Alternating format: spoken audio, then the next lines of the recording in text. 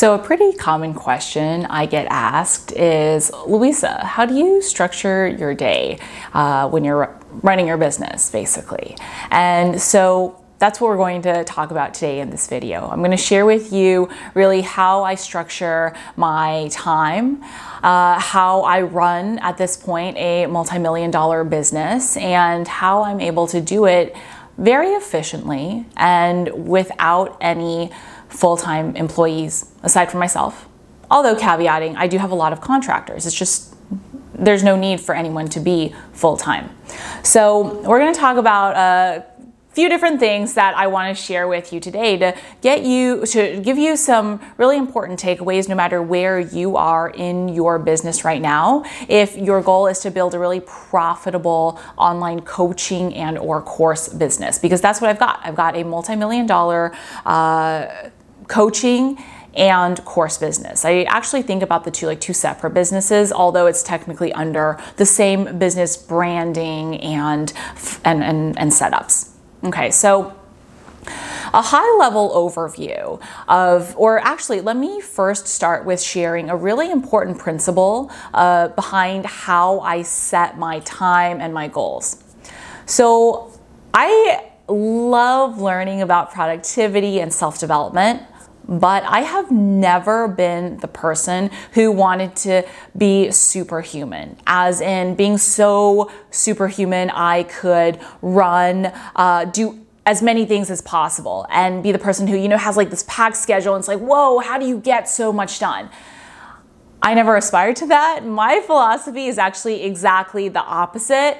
Try to do as little as possible, and, and, I don't mean by being lazy, I mean to be as efficient as possible so that you're not stressed out. You're not having to uh, really do everything under the sun. You're not having to be superhuman, right? Because I don't know, I have only met a few people in my life who are like that. I know I myself am not. If I had to do that every single day, I'd probably hate my life. I don't know. No, I mean, it's just everyone has a different way of uh, living and doing what's best for them, and my way is a little bit different. So I don't try to be superhuman or super productive or wake up at four. Um, so let me preface with that because you're going to see how that that core philosophy for me drives how I run my business and how I set my schedule.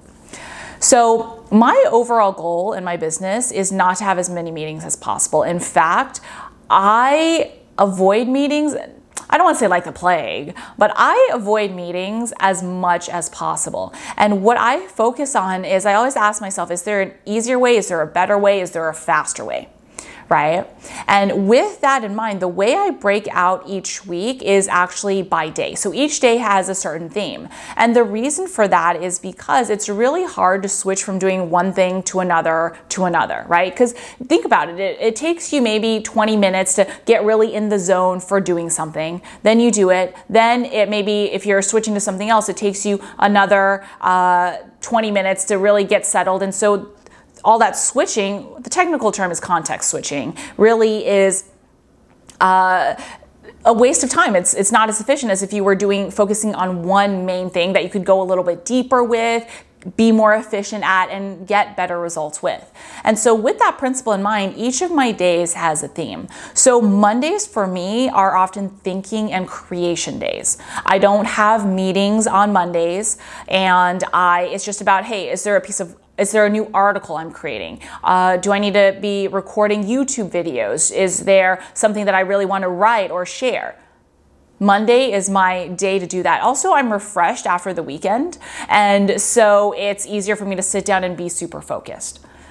Tuesdays and Wednesdays are my meeting days. And by meetings, I mean meetings occasionally with the people I work with we do not have, well, for, for most of the contractors I work with, we do not have regularly set up meetings. And the reason is because, I mean, this could be a whole other video, and maybe I'll do one on hiring, right? If for this type of business, emphasizing this type of business. There are different types of businesses where you want to hire different types of people. It's not about hiring people who need to uh, to meet with you every week or every other week. It's about having set systems and metrics in place so that each person knows what they need to be doing and how to measure whether or not they're doing it well or not. And making that clear versus you managing it, right? Having the systems in place and the people to support the systems versus the people in place and the system supporting the people. Difference for this type of business specifically.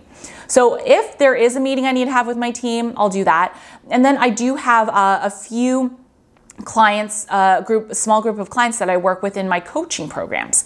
And so I will have coaching calls on Tuesdays and or Wednesdays. So that's that's my focus. Now, any other uh, people I need to meet with, whether that's my accountant, my bookkeeper, whether it's a potential business partner I might want to do business with, uh, whether it's grabbing lunch or coffee with a new acquaintance, I schedule those most of the time on Tuesdays and Wednesdays as well. So those are my kind of like, you know, taking action, connecting with people, being uh, in that headspace kind of days. Those are the themes for Tuesdays and Wednesdays.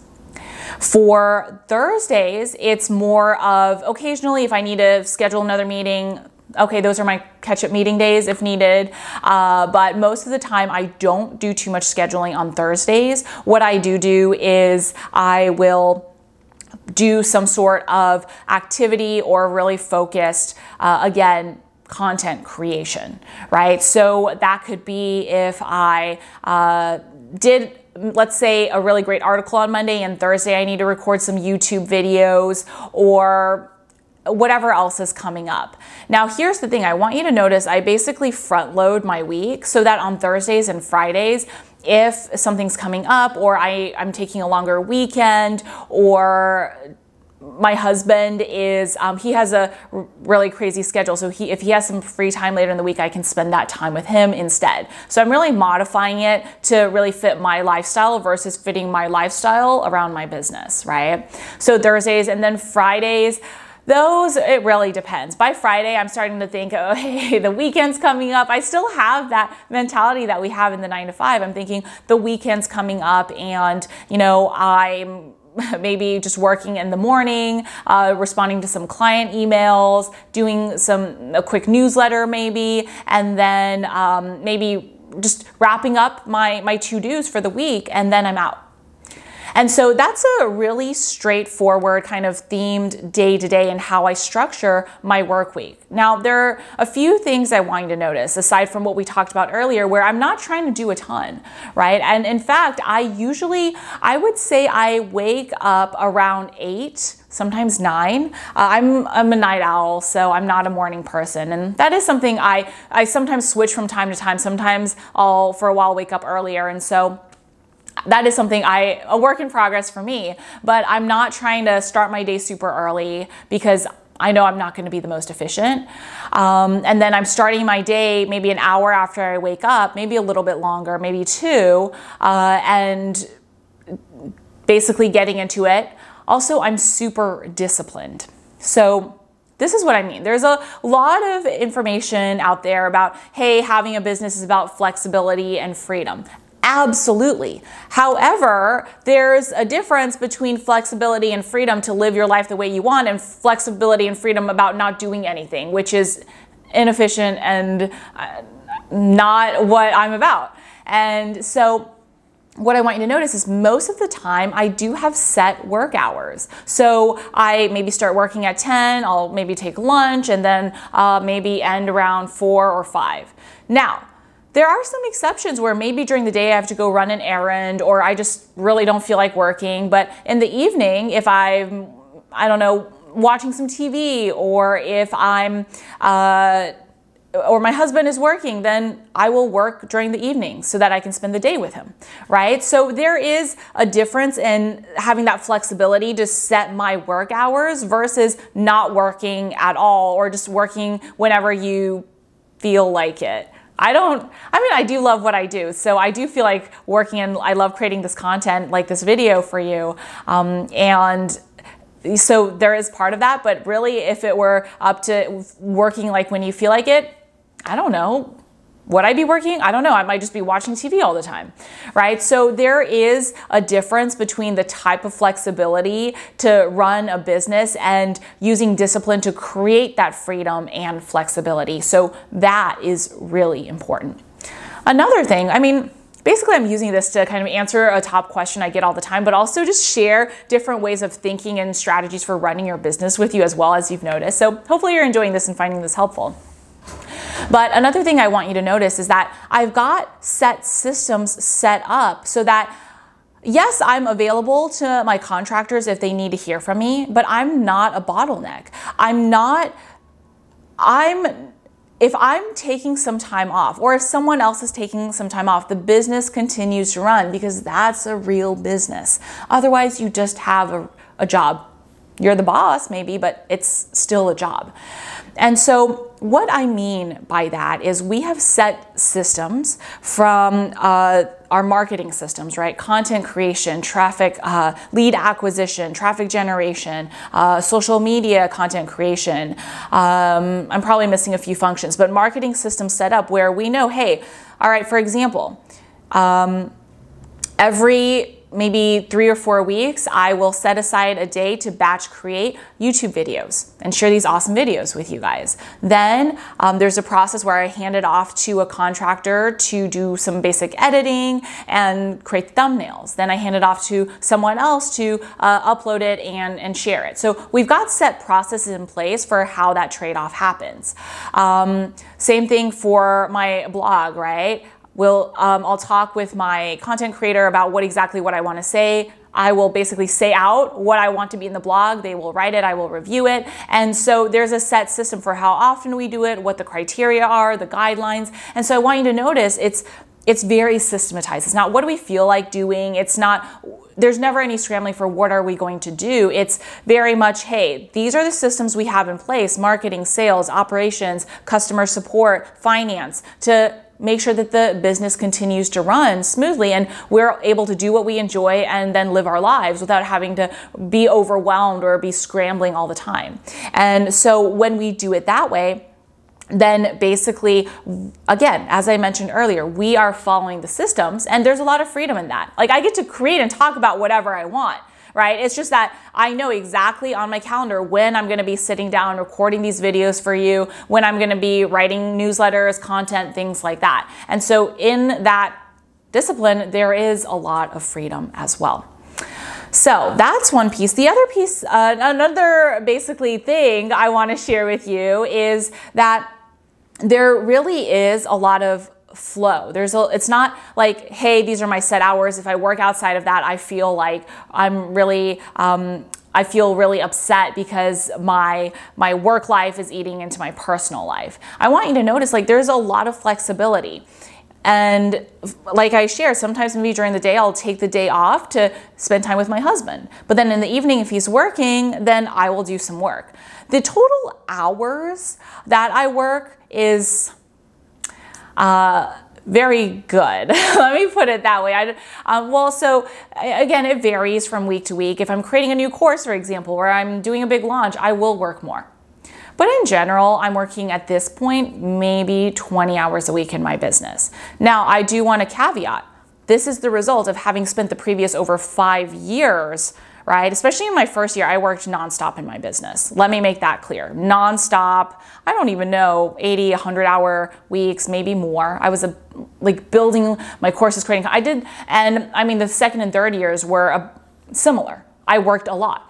And I used that time to create really great content, to uh, create really great courses, to really systematize my business because I knew this was the end goal. So I want to caveat that. It's not like this is, you know, year one or even year two or even year three or even year four, right? Um, this is something that is possible, but that took time to build up to. From day one, I started thinking about the systems I was going to set in place to be able to have this. So uh, just another side note, this is not something that happens by accident, right? This is something that happens as a result of really targeted planning from day one, which is what I teach also uh, to my students in my courses. So and I talk about it in so many of my videos as well. So this is really important to, to think through for you as well.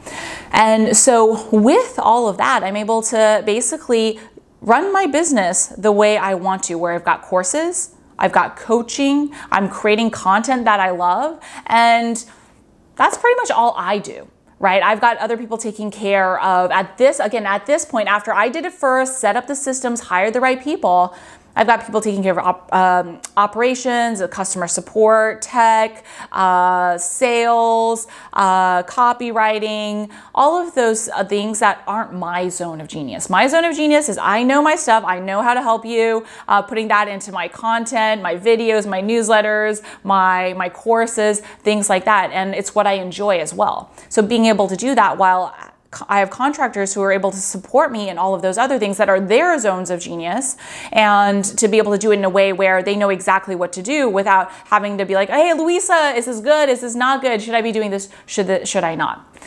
So that is a little bit of insight into how I structure my day. And then months are different as well overall, right? Some months, maybe I'm working less. Like uh, during the holidays, I'm probably taking more time off to travel to be with my family, or maybe there are certain months where I'm going on a trip, right? I'll plan it around that. But that is really the main structure of my of how I schedule my my days and my weeks. And as I mentioned, basically packed a lot of good nuggets about business strategy and structuring and team and all of uh, a lot of really great things for you to take away from that uh, while sharing an interesting sneak peek uh, so that you get a lot of value and, and takeaways out of this no matter where you are in your business right now. So I hope you found that just really interesting and helpful. And if you did, I've got another really great video for you. And it's the video where I share um, basically behind the scenes of my morning routine right? So that has changed and it continues to change as time goes by. I'm, I'm, testing different things, but it'll give you some insight into how I set up the, the first hour or so of my day to prepare myself to, to run my business, right? And so I think you're going to find that really interesting. That video is going to be linked either somewhere on the screen and or in the description below. So make sure you check that out. And then I also have a really great PDF for you on the high level blueprint to follow to build a six figure profitable online coaching business, as well as the top three mistakes to avoid that I see all the time with uh, so many students and new entrepreneurs to make sure that you avoid them because so that you don't have to go through that. So make sure you check out that PDF. You can get the link and sign up for it against either somewhere on the screen and or in the description below. So that's it for today. Uh, if you're new to my channel, make sure you hit the subscribe button to be notified every week when I release a new video like this, uh, sometimes behind the scenes, and a lot of really tangible strategies and tactics, and just always really valuable advice to help you build your own online business uh, every single week. So thanks so much for watching and for being here, and I will talk to you next time.